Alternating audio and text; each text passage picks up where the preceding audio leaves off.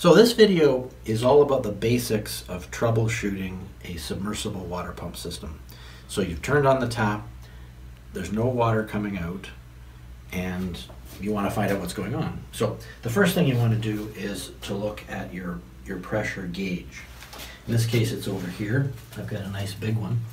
It's actually uh, originally made for a um, water sprinkler system um, for for fire protection, but it works really well for this too.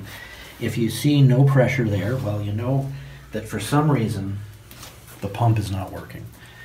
And here's how you go about figuring out what the problem might be. It could become something quite simple. Um, the first thing you want to do is to shut the power off. Now my system has a, a shut off valve here. You don't want to try any of this unless you're already familiar with these the safety aspects of dealing with electricity. But right now the power is on. I'm going to shut the power off and then I can open up my door. And in this case, I've got a couple of time delay fuses here. Uh, are these fuses blown or are they good? That's the first step. You, you want to determine if electricity is getting to the pump. That's the first step. So assuming that electricity is going to the pump properly, the next thing you want to look at is this thing here. This is um, the, the pressure switch. It's the same kind of switch no matter what sort of water pump system you have, whether it's a jet pump or a piston pump or a submersible pump. They all use similar pressure pump uh, pressure switches to this here. So the power is off and I'm going to be opening it up and taking a look inside power is completely off here, or I think it's completely off, but I want to have multiple layers of safety here, so I've got my multimeter, um, and I want to check that there should be no voltage across. So there's just one, one volt there, just some stray voltage, less than one volt there. So we really are dead, which is what we want to be. Now, the purpose of this pressure switch is to turn the pump on when the pressure drops to a certain level in the tank and then to shut the pump off once you've hit a maximum level. And it happens with these contacts here. So the contacts are, um, they're closed right now and they're open. This pressure switch senses the pressure in the system through this, this stem here. So water pressure goes up in here, there's a diaphragm inside, and that either opens or closes the contacts to maintain that pressure. Now, because these open and close every time the pump goes on and off, the contacts can get uh, pitted. And if you see here, uh, there's a contact here, and here's another contact here. So electricity has to flow through these things when they close. And because there's a little bit of a spark every time they open, every time they open under load, these contact surfaces can get burned and pitted. So if your pressure switch ever stops working, chances are it's because these contacts, there's four of them in all, two on each side, have have uh, gotten to the point where they can't conduct electricity anymore.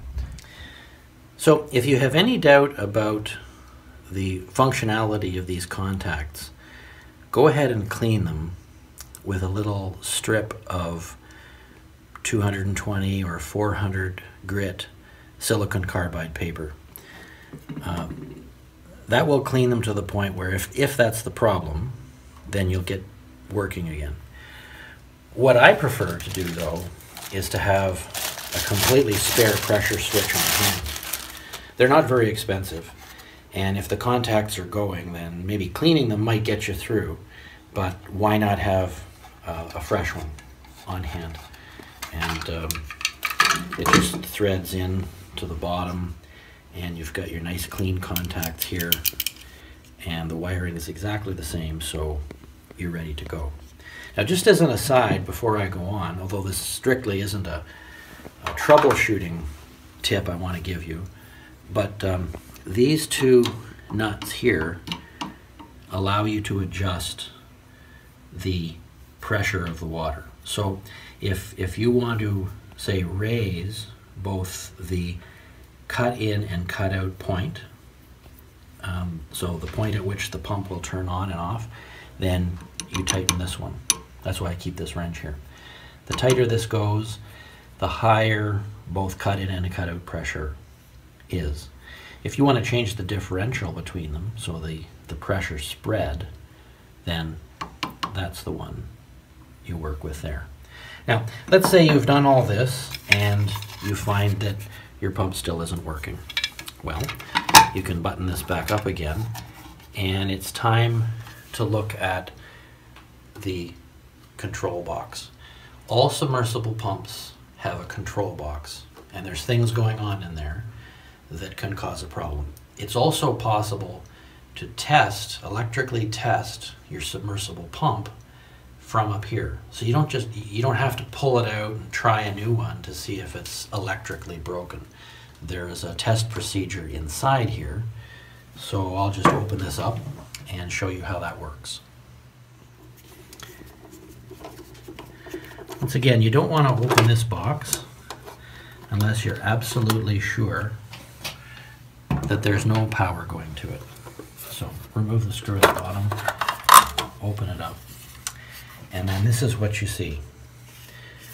So the, the main thing inside here is this unit. This is the capacitor, and its job is to give the pump a shot of electric power to get it spinning. If electricity were just applied to the pump motor with no extra shot of juice, then it might not get going. So the purpose of the capacitor is to kickstart the pump. And this is one of the things that can cause a pump to stop working, a pump that's otherwise good. Now there are methods of testing a capacitor. They're fairly complicated, but you see this, this circle here? If that's kind of uh, bulging out or broken or exploded or something, then you know for sure your capacitor's bad. And they're not very expensive. So you can take it off, uh, unclip it, and take it with you to an electrical supply shop or you go online to find a replacement. Before you touch those contacts though, you should lay a screwdriver across them because if the capacitor is good, then you could get a little bit of a shock if you touch that. It won't kill you, it won't really hurt you, but it's not going to feel comfortable either. So the capacitor is one thing that can go wrong. Um, the other thing that can go wrong is the pump itself. The windings can be burnt out, and that's where the multimeter comes in again. If you look here, you'll see some very important information on this chart. See down here, you'll see the different horsepowers of pumps. Mine is a half horsepower. Uh, and then it's available in two voltages. Mine's a 230 volt half horsepower. And you see here, main black yellow, start red yellow. These numbers here are the ohms ratings that you should find across these terminals. In this case, that's the black and yellow terminal, and that's the red and yellow terminal. So ohms is a, is a measure of electrical resistance, and every multimeter has the ability to measure ohms. So I'm going to show you what that looks like now in real life. So the first thing we want to do is to turn our multimeter to the ohms range. Ohms looks like this horseshoe here. And of course my probes aren't touching each other, so there's an infinite electrical resistance between the two. But according to the chart, for a half horsepower 230 volt pump, there should be between 4.6 and 5.2 ohms between the black and yellow terminals. So here I go, yellow, black, touch it on here. What do we have on the screen? We've got 4.9. Now my pump's working fine, so that's kind of what I expected. It's within the acceptable range there. So let's look at the other one is uh, the between the red and yellow terminals. And let's just see what that reads. Between the R and L terminals should be the 17.4. Well, the acceptable range is 16.7 to 20.5. So we're okay. Now, as I said, my system's working fine. But that's the test procedure that you'll go through, and you will find some problem somewhere. Either there's no electricity coming into the system, your pressure switch contacts are faulty, or they're not moving, they're not closing, or you've got something wrong with your pump.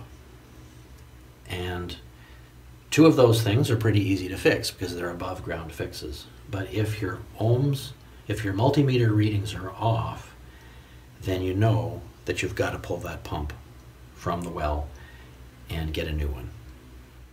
One more thing here on this video. It's not strictly about troubleshooting, but it's related to the inside of this control box. In the, um, the, the, my design for the trickle system, which is what you'd use to get a lot of water from a weak well, you absolutely have to have a submersible pump in that weak well and a mechanism, a device that will shut the pump off automatically when the well runs out of water. And that's what this is here. This did not come standard with this control box, but it is made to fit within this control box. And it senses the current draw of the pump.